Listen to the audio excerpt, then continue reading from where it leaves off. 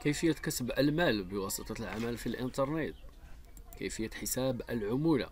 كيفية تحصيل أموال من المدينين؟ كيفية بدء مشروع, مشروع تجاري صغير؟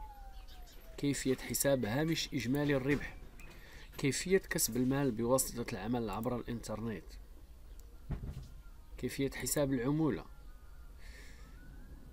شارك معنا في القناة لتتوصل بجديد الفيديوهات المتعلقة بالمال والأعمال.